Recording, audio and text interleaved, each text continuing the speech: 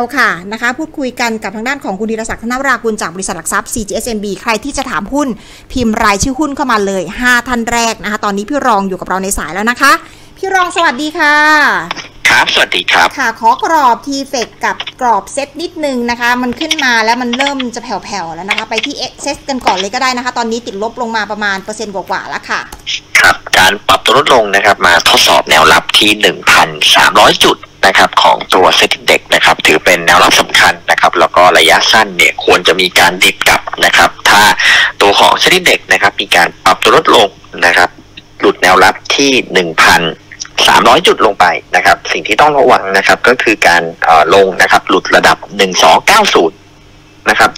จะเป็นสัญญาณขายในทางเทคนิคนะครับ แล้วก็ในตัวของโมเมนตัมเองนะครับ การปรับตัวเพิ่มขึ้นในระลอกนี้นะครับ จะเห็นว่า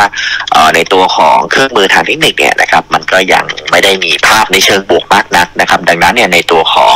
การฟื้นตัวนะครับ ในระยะสั้นเนี่ยก็ยังมีแนวต้านอยู่ที่หนึ่งพัน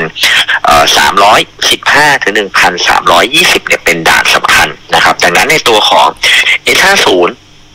นะครับ M20 การปรับตัวลดลงหลุดแนวรับที่ 870 นะครับทำให้ความเสี่ยงในการถอยลึกนะครับ ลงไปที่ 855 ถึง 850 เนี่ยเพิ่มสูงขึ้นนะครับ ดังนั้นเนี่ยก็แนะนำให้ open short นะครับที่แนวต้าน 865 แล้วก็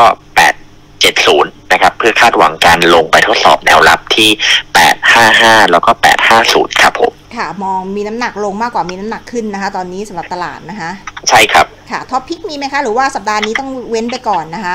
อ่าสำหรับในตัวของเอ่อหุ้นนะครับ ถ้าเป็นเอ่อการเก็งกำไรนะครับในระยะสั้นนะครับ วันนี้เนี่ยสัญญาณในแง่ของการเข้าซื้อเนี่ยนะครับ ก็จะมีตัวของเมเจอร์ครับผมเมเจอร์นะคะ หุ้นกลุ่มเกี่ยวกับอ่าบันเทิงนะคะ ยังไม่เปิดโรใช่งคหรับนังเลยนะคะ ตอนนี้มีสัญญาณซื้อแล้วเหรอคะ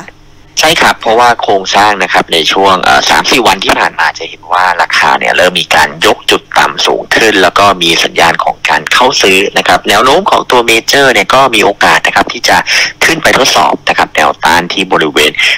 16.50 นะครับถึง 17 นะครับ ก็แนะนำให้เข้าซื้อนะครับในตัวของเมเจอร์ ที่แนวรับบริเวณ 15.5 นะครับเพื่อคาดหวังการขึ้นไปที่บริเวณ 16.50 ครับผม ค่ะ ขออนุญาตตอบคำถามให้กับท่านนักลงทุนสักนิดนึงนะคะ ไปที่ตัวแรกกันก่อนนะคะมีทั้งหมดขอ 5 ตัวเท่านั้นนะคะท่านนักลงทุนที่พิมพ์รายชื่อหุ้นมาหลังจาก 5 ตัวต้องขออภัยด้วยนะคะ เอาละค่ะ ตัวแรกนะคะ JWD นะคะ 6 บาท 45 สตางค์ค่ะอ๋อ ในตัวของ JWD นะครับโครงสร้างเนี่ยกำลัง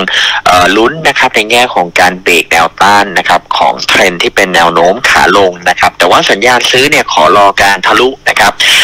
6.60 นะครับ ขึ้นไปนะครับ จะมีแนวต้านถัดไปที่ 7 บาท แล้วก็ด่านสำคัญที่ 7.60 ครับผมค่ะ ต่อที่ตัวของ ACE นะคะ Absolute นะคะ ตัว ACE 3 บาท 58 สตางค์ค่ะ ครับดูการปรับตัวเพิ่มขึ้นนะครับ เริ่มมีแนวต้านนะครับ ที่แข็งแข็งๆนะครับ แถวแถวบริเวณเอ่อ3.64นะครับ แล้วก็ถ้าขึ้นทะลุนะครับ แนวต้านที่บริเวณ3.70นย์นะครับ ขึ้นไปได้เนี่ยจะมีแนวต้านถัดไปอยู่ที่4บาทแต่ระยะสั้นเนี่ยเอ่อน่าจะมีการย่อลงไปนะครับ ทดสอบแนวรับที่3.20หรือ3.12นะครับ ในช่วงสั้นก่อนครับผมค่ะ ต่อด้วยตัว7 e เ e ่ e อ CPO นะคะ หลุดลงมาตอนนี้ 70 นะคะ ต่ำแล้วนะคะ68ครับบาทก็75มีโอกาสนะครับ ที่จะถอยลงไปทดสอบแนวรับที่ 67 แล้วก็ 66 นะครับ เพราะว่าการหลุด 69 ถือเป็นสัญญาณในเชิงลบครับ ค่ะหกก็ยังมีโอกาสลงต่อนะคะ BCPG ค่ะ 16 บาท 50 ตังค์ค่ะเอ่อ ในตัวของ BCPG นะครับแนวต้านของเส้นค่าเฉลี่ย 200 วันนะครับที่ 16.6 เนี่ยน่าจะเป็นแนวต้านที่แข็งแรงนะครับแล้วก็การขึ้นในช่วงสองสามวันที่ผ่านมานะครับจะเห็นว่าการปรับตัวลดลงนะครับเมื่ออดีดแรงๆนะครับจะมีวอลลุ่มเนี่ยออกมาค่อนข้างเยอะนะครับ เพราะฉะนั้นตัวของ BCPG นะครับตอนนี้กำลังทดสอบ 16.5 ถ้าไม่ผ่านนะครับ แล้วก็ถอยลงมาในระยะสั้นนะครับหลุด 15.8 นะครับแนะนำให้ขายนะครับ เพื่อเอ่อออกจากตัวของ BCPG ไปก่อนครับผมค่ะนะคะตัวของโอโสสภานะคะ โอสถสอ๋ภาอนี่ค่ะครับในตัวของโอสถนะครับ ราคาเนี่ยเอ่อถอยลงมานะครับ ทดสอบเส้นค่าเฉลี่ย 200 วันนะครับที่ 40 นะครับ ซึ่งมีความเสี่ยงในการหลุดลงไปนะครับ ก็เอ่อมองแนวรับนะครับที่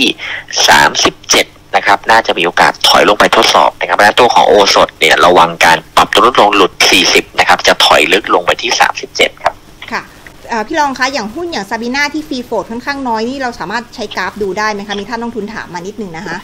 ครับสำหรับในตัวของซาบีนานะครับเทรนด์เนี่ยก็ยังเอ่อเรียกว่าเป็นแนวโน้มขาขึ้นนะครับ ก็มีโอกาสนะครับที่จะเอ่อขึ้นไปนะครับ ทดสอบแนวต้านที่ 20.5 นะครับ ถึง 21 นะครับ แล้วก็เอ่อแนวรับสำคัญเนี่ยอาจจะต้องรอเอ่อเรียกว่าแนวรับสำคัญนะครับ ขอลึกนิดหนึ่งนะครับ ก็คือบริเวณ 18 นะครับ ถ้าหลุดเนี่ยจะเป็นสัญญาณขายครับผม ค่ะ มีทุนอยู่ถึงประมาณเกือบ 30 เลย 29 บาทนะคะเอ่อถ้าทุน 29 ก็เอ่อในรอบของการ rebound ใหญ่ๆ เนี่ยนะครับ จะมีแนวต้านอยู่ที่ 23 นะครับ เป็นจุดของการขายออกไปก่อนครับผม ค่ะ ขอแถม CKP ตัวสุดท้ายอีกสักตัวแล้วกันนะคะ ครับในตัวของ CKP นะครับแนวโน้มขาขึ้นในรอบนี้นก็ยังแข็งแรงนะครับ แล้วก็เอ่อเทรนด์นะครับที่ปรับตัวเพิ่มขึ้นมาในรอบนี้นะครับ จะมีแนวรับสำคัญอยู่ที่ 4.14 นะครับ ถ้าหลุดเนี่ย แล้วก็จะย่อลึกลงไปที่บริเวณ 3.90 นะครับ ก็ระวังการหลุดนะครับ 3.14 สำหรับตัวของ CKP นะครับ ถ้ายังไม่หลุดนะครับ แนวโน้มของการขึ้นในรอบนี้เนี่ยก็อาจจะขึ้นไปทดสอบบริเวณ 4.80 นะครับ ที่เส้นค่าเฉลี่ย 200 วันครับผม ค่ะได้ค่ะกราบขอบพระคุณพี่รองมากๆเลยนะคะ ครับสวัสดีครับสวัสดีค่ะท่านท่านคุณรองธีรศักดิ์นาวรากุลนะคะ ตอบคำถามให้เราถ้าท่านชอบกดไลค์กดแชร์คลิปรายการด้วยนะคะ ต้องขออภัยท่านนักลงทุนที่อาจจะตอบคำถามได้ไม่ครบทุกตัวนะคะ เพราะว่าอ่าก็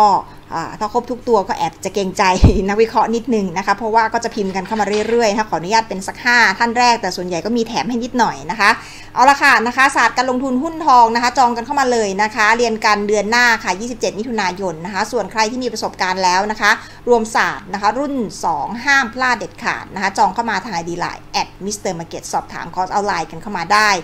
ทางไลน์ของหมวยนะคะ ขอบพระคุณมาก ๆ ค่ะที่ติดตามนะคะ วันนี้ช่วงบ่ายนะคะก็ยังมีรายการนะคะ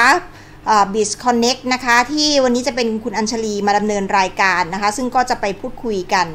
กับนักวิเคราะห์ก็คืออคุณวิกิตเทรวรรณรัตน์จากบริษัทหลักทรัพย์บัวหลวงบ่ายสามถึงสี่โมงนะคะก็ฝากท่านติดตามผ่านทาง Facebook นี้ด้วยนะคะ ก็คือรู้ทันหุ้นของหมวยนะคะ แล้วก็ Facebook b i z Connect ค่ะสำหรับวันนี้เวลาหมดแล้วนะคะ ลากันไปก่อนนะคะสัปดาห์หน้ากลับมาเจอกันใหม่ สวัสดีค่ะ